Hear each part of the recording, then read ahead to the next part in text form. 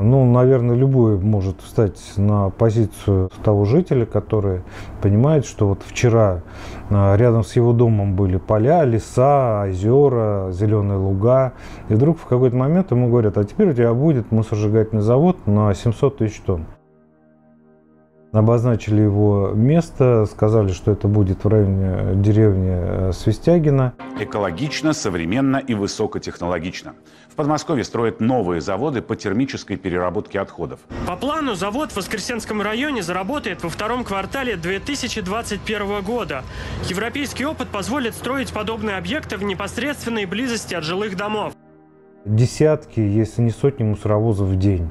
Э, будут заезжать, выгружаться, этот мусор будет попадать в топку э, завода и будет сжигаться открытым пламенем. В результате нашей деятельности протестной вот жители Воскресенска, Воскресенского района э, нам пообещали, что никакого полигона ТБО не будет на территории Воскресенского района, но вот мусоросжигательный завод все равно будет. Мы возмутились, мы не согласились. Сейчас начнется движение колонны, покиньте проезжую Инвестор, тем не менее, все равно провел общественное слушание. Люди высказались против. Кто против? Так, две руки не поднимать. Посчитайте, пожалуйста. Коллеги, посчитайте, пожалуйста. Кто же строит этот мусоросжигательный завод? Мы понимаем, что это РТ Инвест. Ну, а у РТ Инвест э, инвестором является Ростех, где руководителем является э, Чемизов мы решили провести альтернативную экологическую экспертизу. Однако инвестор нам отказался передавать документы. Мы к этой ситуации готовились и подали э, в суд. К нам в Белону обратился Алексей Холкин и другие жители Воскресенского района Московской области с просьбой представлять их интересы в суде. Для получения необходимых документов нам пришлось пройти четыре э, судебные инстанции в арбитражных судах. Через год после вступления в законную силу решения суда, только после того, как судебные приставы исполнители уже вышли к ним в адрес, уже направили им предупреждение о возможности привлечения генерального директора к уголовной ответственности, только тогда уже там в 10 огромных коробках была нам передана проектная документация. Перед э, нами, вот, группой экспертов, стояла достаточно сложная задача потому что а, проект практически на каждую страницу можно было писать замечания. Технологии, которые были предложены в этом а, проекте технологии 30-летней давности, по сути, потому что используется метод сжигания на колосниковых решетках, и, соответственно, а, это никак нельзя отнести к каким-то передовым методам при обращении с отходами ТКО в отличие от заявленных аналогов в различных городах Евросоюза, предусмотрена только лишь трехступенчатая очистка, что само по себе да, является тоже таким грубейшим нарушением, поскольку она не обеспечивает а, нормативных показателей по очистке и тем более по очистке таких вредных выбросов, как диоксины и фураны.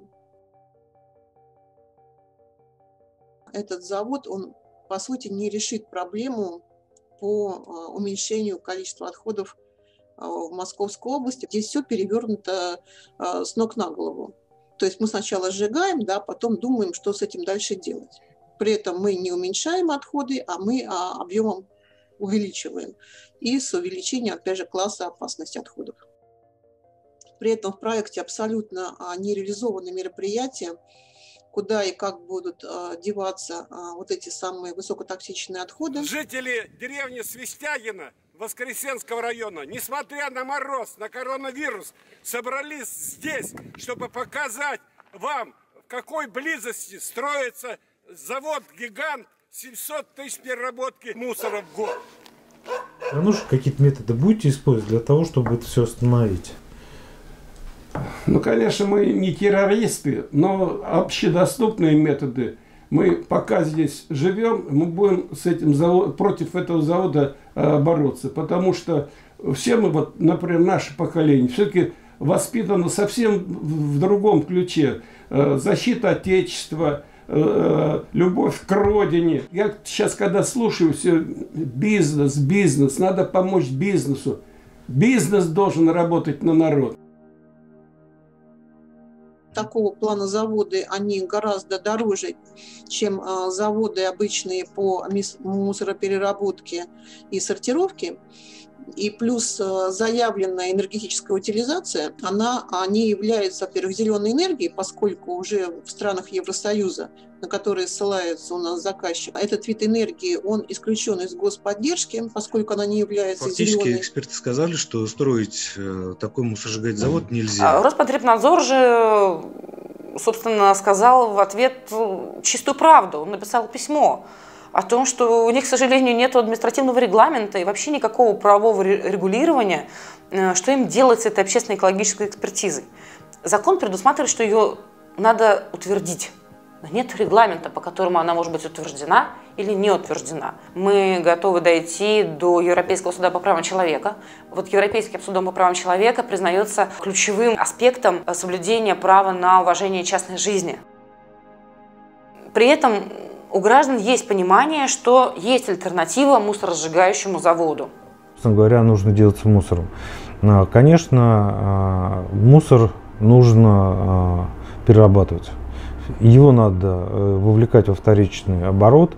Ту э, упаковку, которая не перерабатывается по каким-то причинам, извлекать из оборота, то есть не производить э, мусор, который не перерабатывается. Нужно ежегодно и это, в принципе, государство, и гражданское общество должны заниматься тем, чтобы а, просто мусор из года в год становится вообще в принципе, неважно, перерабатываемый он, не перерабатываемый, должно становиться меньше. К сожалению, сейчас реализуется совершенно другая история.